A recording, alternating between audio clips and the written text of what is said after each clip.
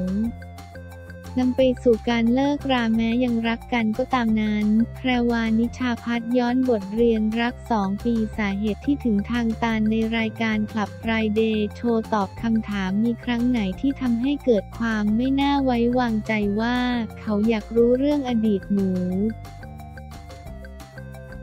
แต่หนูรู้สึกหนูไม่แคร์อดีต ปัจจุบันเราเลือกเขาเขาเลือกเรา แต่เขาอยากรู้อดีตหนูหนูก็ให้รู้ แต่พอเขารู้เขาปล่อยวางอดีตไม่ได้ทำให้มันมีปัญหากันหนูเลยเลือกที่จะโกหกเรื่องอดีต สุดท้ายเขาจับได้ว่าโกหก พรวาตอบว่าใช่ค่ะเขาก็โกรธว่าทำไมต้องโกหกแพรวากล่าวว่าใช่ค่ะแต่เราอธิบายว่าที่โกหกเพราะถ้าเขารู้ มันจะทะเลาะกันไปเรื่อยๆเรื่องอดีต หนูก็บอกว่าหนูกลับไปแก้คอขอดีดอะไรไม่ได้ แฟนเก่าก็เป็นเพื่อนกับเราหมดสะเทือนความสัมพันธ์ปัจจุบันได้ แพรวาใช่ใช่ชอบเตะฟุตบอลเฮฮากับเพื่อนผู้ชายมั่นใจว่านั่นคือเพื่อน แพรวาใช่ข้าลองพามารู้จักจะได้ไม่หึงแพรวาลองแล้วก็ยังเป็น สองพามาเจอกันแล้วเพื่อนเกย์เพื่อนปุ๊ดก็หึงหมดเลยแพรวาถ้าเพศสภาพเป็นผู้ชายคือหึงหมดเลยถามถึงการเปลี่ยนการแต่งตัวของแพรวาด้วยจะไม่แต่งตัวโป๊แพรวากล่าวว่าเวลาไปออกงานทำงานใส่ฮูดแขนยาว เราทำงานเหนื่อยไม่อยากทะเลาะมาเหนื่อยกับความสัมพันธ์ตัดปัญหาโดยเราไม่ต้องแต่งตัวโปแพรวากล่าวว่ามีงานหนึ่งต้องใส่ชุดของรายการต้องใส่แหวกหลังทั้งหลังมีปัญหาชัวร์ขอเปลี่ยนชุด จนผู้จัดการถามก็ต้องเล่าให้ฟัง จังหวะนั้นเราคิดว่าไม่เป็นไรหรอกดีกว่าเราเหนื่อยใจ แพรกล่าวด้วยว่ากล้าพูดเลยหนูเป็นคนที่ซื่อสัตย์กับความรักมาก ถ้าหนูมีแฟน แต่พอโดนไม่ไว้ใจโดนระแวงตลอดเวลา จนรู้สึกว่ามันมีจุดไหนเหรอที่หนูพลาด ในความสัมพันธ์นี้ที่เขาไม่ไว้ใจเลย หนูว่าหนูทำเต็มที่มากในความรักในความซื่อสัตย์นี้ เป็นสึมเศร้าด้วยมีครั้งไหนทะเลาะกันแล้วดิแพรวาเผยว่าหลายรอบ ทะเลาะกันเยอะมากๆ บางเดือนวันเว้นวันการปรับเปลี่ยนตัวเองเพื่อเขาเริ่มไม่มีความสุขแล้ว แพรวายอมรับว่าใช่ในความสัมพันธ์พวกหนูปรับกันมา จนมันเกิดการจะเลิกกัน 3-4 รอบ จนมีแมทที่หนูไม่อยากปรับแล้วหนูเหนื่อยแล้ว รู้สึกพยายามจะเป็นสิ่งที่ดีที่สุดให้เขาดีสุดของหนูได้เท่านี้ แต่มันห่างไกลจากคำว่าดีที่สุดของเขาอีกไกลมากเลย ไม่อยากปรับแล้วเราลองเป็นตัวเองกันได้ไหม เขาก็ปรับเหมือนกันเขาพยายามทำให้หนูเยอะเหมือนกัน เราทำเกินตัวกันทั้งคู่ในการปรับให้กัน จนไม่เป็นตัวเองมันยิ่งทะเลาะกันเข้าไปใหญ่แพรวาเป็น extrovert ชอบสังคมชอบปาร์ตี้เขาเป็นคน introvert แพรวา ชมอดีตแฟนว่าเขาน่ารักดูแลเทคแคร์บางอย่างที่เราคิดไม่ถึงเขาจะคิดให้เป็นที่ปรึกษาเป็นผู้นำเป็นผู้ตามเราได้ด้วยเป็นเพื่อนเราได้เขาทำให้หนูใจเย็นหนูขึ้นเร็วแต่เขาเหมือนน้ำถึงขั้นทำร้ายตัวเอง แพรวากล่าวว่าจริงๆ ไม่ควรทำแต่ทะเลาะกับเขาจนหนูรู้สึกไม่มีค่า เราเลวเกินกว่าที่จะอยู่บนโลกใบนี้แล้ว คิดหลายวิธีแต่รู้สึกตายไม่ได้ยังมีงานต้องประสบความสำเร็จก่อน เขาให้หนูสัญญาว่าจะไม่ทำอีก หนูก็ให้เขาสัญญาว่าถ้าถึงจุดที่หนูรู้สึกว่าการทะเลาะกันต้องหยุดตรงนี้ต้องหยุด ถ้ามากกว่านี้หนูจะไปถึงขั้นทำร้ายตัวเองแล้ว ถามว่าจุดสิ้นสุดคือแพรวาตอบว่ากุมภาพันธ์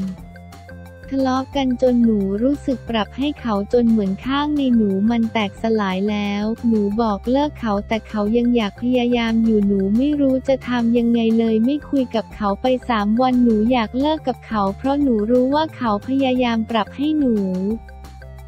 เขาก็จะแตกสลายเหมือนที่หนูแตกสลายเหมือนที่ผ่านมา ไม่อยากเห็นเขาแตกสลายผู้จัดการกับพี่อีกคนนัดมาเคลียร์กันสี่คนเคลียร์ทุกเรื่องตั้งแต่คบเลยหลังจากนี้ถ้าจะตัดสินใจเดินด้วยกันต่อลองรอบสุดท้าย ให้เป็นตัวเองกันเลยเหตุการณ์อะไรที่จบแน่คราวนี้แพรวากล่าวว่าหนูจะไปกินข้าวกับเพื่อนเขาบอกทำไมไม่ไปกินกับเขาไม่มีเวลาให้เขาหนูรู้สึกว่าเดี๋ยวจะไปเที่ยวด้วยกันสี่วัน แต่หนูอยากไปกินข้าวกับเพื่อน เหมือนจิกซอคนละชิ้นที่เข้ากันไม่ได้จริง ๆ หนูคิดว่ามันใหญ่ เพราะเขาขอให้เพื่อนคนนี้พาหนูมาเคลียร์ด้วยเพื่อนเป็น LGBTQ บวกด้วยเรื่องใหญ่ ถ้าแต่เรื่องเพื่อนก็เข้าใจเขาว่าน้อยใจหนูขอเลิก เข้ากันไม่ได้จริงๆ ถ้ายื้อปรับกันต่อไปแบบนี้ต้องมีฝ่ายใดฝ่ายหนึ่งที่แหลกสลายเป็นผุยผง ยากที่บอกเลิกเป็นการบอกเลิกที่ยังรักกันมากๆ ครั้งนี้เขาไม่ยื้อแล้วขอบคุณคลับไกรเดย์โชว์ชมรายการแบบเต็มๆ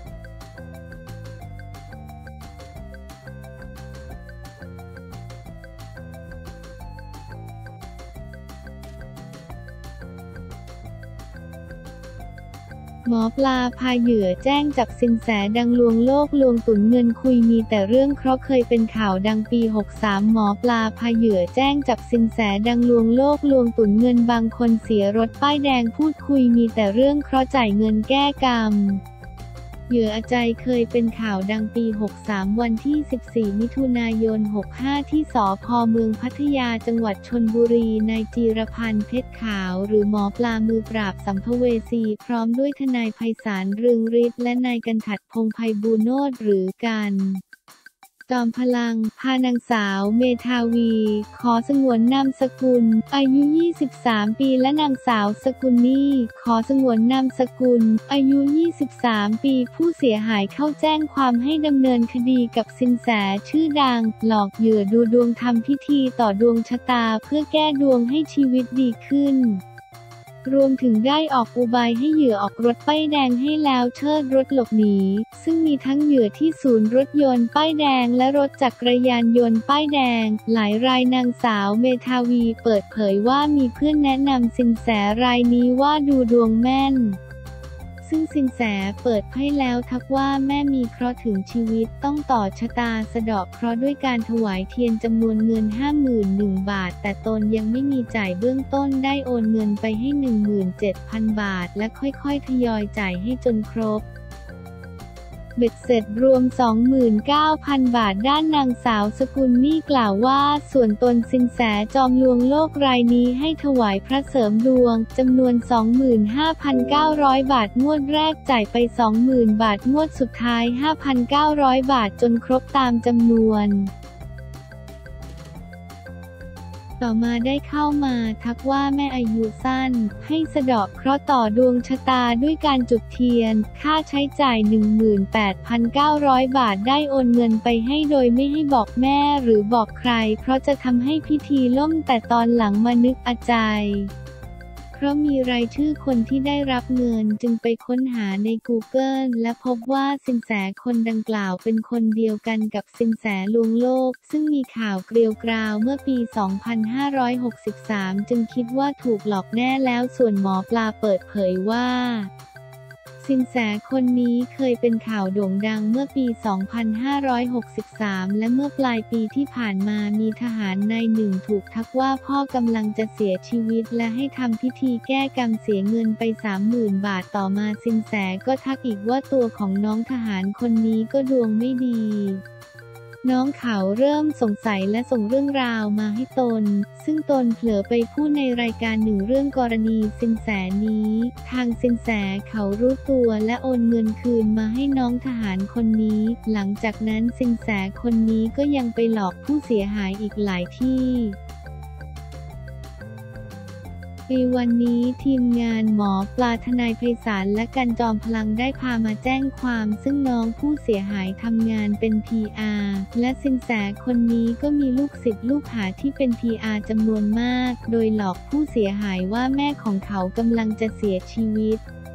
ให้ทำพิธีต่อดวงชะตาและให้โอนเงินค่าพิธีกรรมมา หมอปลากล่าวต่อว่าการจะทำพิธีแก้กรรมต่อดวงชะตาแบบนี้ไม่เป็นความจริง และไม่มีใครสามารถแก้กรรมได้ ซึ่งตนขอเตือนว่าอย่าไปเสียเงินกับเรื่องอย่างนี้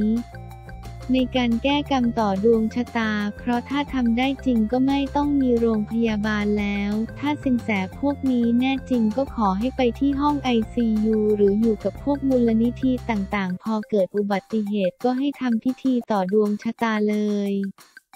เรื่องอย่างนี้เป็นไปไม่ได้และไม่สามารถแก้กรรมได้ เพราะกรรมเกิดจากการกระทำของตัวเราเอง การแก้กรรมที่ดีที่สุดคือหยุดสร้างกรรม และเงินที่เสียไปให้กับคนพวกนี้เขาเรียกว่าไปแก้จนให้กับพวกหลอกลวง ส่วนด้านคดี หลังจากผู้เสียหายเข้าแจ้งความแล้ว พนักงานสอบสวนจะออกหมายเรียกซินแซคนดังกล่าวมาให้ปากคำก่อนที่จะดำเนินการตามขั้นตอนของกฎหมายต่อไป